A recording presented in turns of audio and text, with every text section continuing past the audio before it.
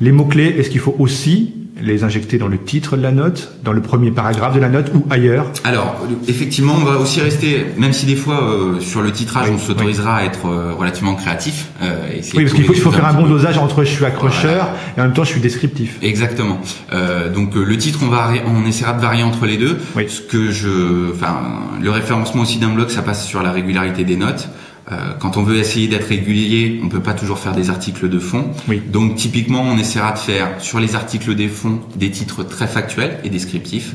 Sur les articles euh, un peu plus de la vie quotidienne, par exemple une photo, on va parler de la neige à Paris, on va essayer d'être un petit peu plus drôle et là, on va s'autoriser le fait d'être un petit peu moins factuel euh, et un peu plus drôle ou euh, spirituel au, au, au mieux euh, sur sur les notes. Mais techniquement, Google lui préférera quel type de titre Pour classer, euh, Google lui va préférer il va préférer du factuel, bien sûr, parce que l'humour il comprend pas et a fortiori l'humour. Mais derrière Google, il y a aussi des humains et donc il faut essayer de les, bah, les, les attraper sur les titres. Alors ce que tu vas pouvoir faire, par exemple, si tu veux euh, compenser cela, c'est lors de ton introduction, les deux premières lignes euh, qui suivent ta, ton titre de note, c'est justement d'essayer d'attraper ton lecteur, parce que ce, ce résultat-là va être visible au niveau du moteur de recherche. Hein, on va avoir le titre qui lui va être très factuel, qui va plaire à Google, et puis dans les deux premières lignes que compte ton, ton article, qui va apparaître aussi lors de la prévisualisation sur Google, là rien ne t'empêche d'être un petit peu plus euh, euh un petit peu plus euh, libre au niveau de l'expression euh, pour essayer d'attraper justement l'œil du lecteur qui se voit retourner ton résultat.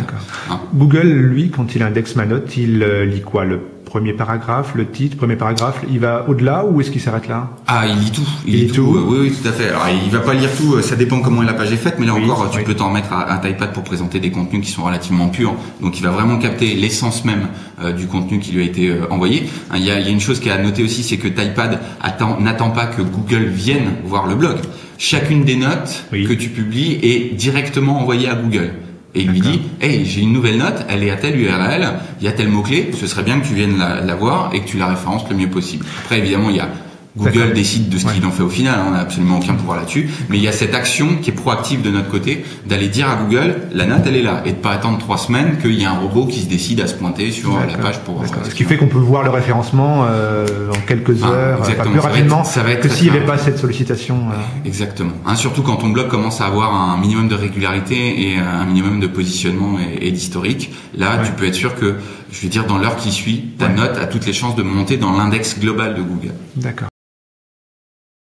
une dizaine de notes le mois, c'est très très bien comme cadence de publication. On essaiera juste d'alterner les notes de fond et puis les notes. D'accord. Et ça suffit pour être apprécié par Google, reconnu comme un contenu intéressant.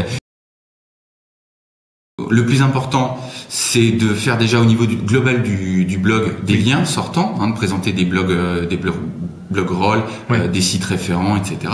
D'abord parce que c'est agréable pour le lecteur de voir qu'on est un référent dans un écosystème euh, donné, et puis aussi parce que Google va apprécier de voir ça sur toutes les pages, c'est à dire bah je suis pas là pour que les gens ils restent forcément chez moi, je les invite à découvrir d'autres sites.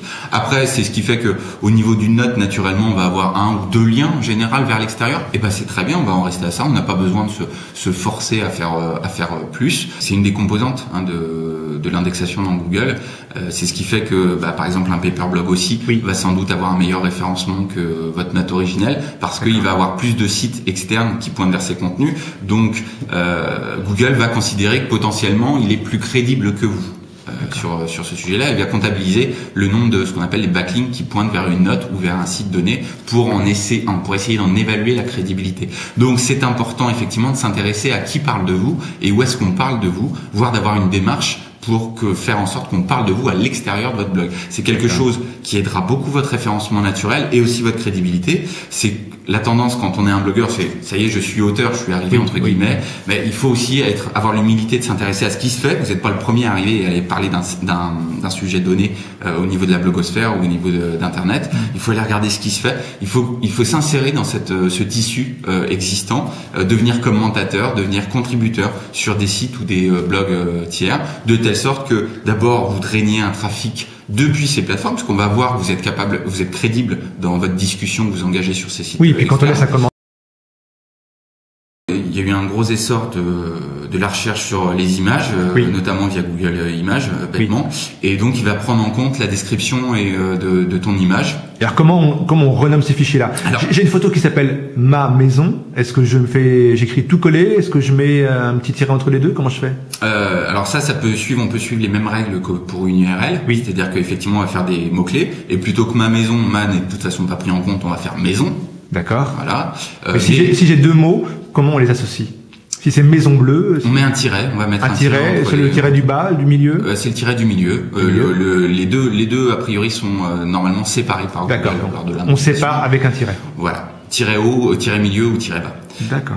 voilà. Et au niveau, surtout, on va plus que l'image, l'URL de l'image en tant que telle, on va surtout s'intéresser à sa description. Hein. Dans Typepad, une fois qu'on a inséré l'image, on a la possibilité de revenir sur sa description en double-cliquant dessus depuis son interface. On double-clique sur l'image qu'on a insérée et on met une, jolie description pour dire vraiment ce que, ce que représente cette image. Photo de Paris sous la neige, photo Paris neige, des choses très factuelles. D'accord, d'accord. Voilà. Ça, c'est à l'essentiel directement. On simplifie le travail pour, euh, pour Google. Euh, d'éviter de se lancer dans ce que font les référenceurs professionnels en se prenant trop la tête sur les mots-clés, euh, etc.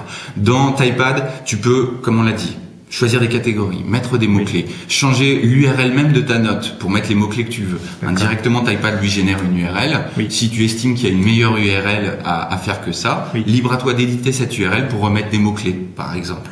Hein, c'est tout à fait conseillé, c'est tout à fait euh, normal de, de, faire ça si on souhaite vraiment euh, affiner son, son, positionnement. Maintenant, il ne faut pas que ça tourne à la paranoïa euh, ni au travail fastidieux qui est donc de chercher toutes les orthographes alternatives sur un mot comme par exemple iPad, euh, qui va être de mettre une collection de mots clés qui est beaucoup trop longue ou qui est vraiment pas relative au contenu que j'ai publié dans ma note. ne pas se laisser non plus emmener dans des techniques de référencement frauduleuses, ce qu'on appelle le black hat.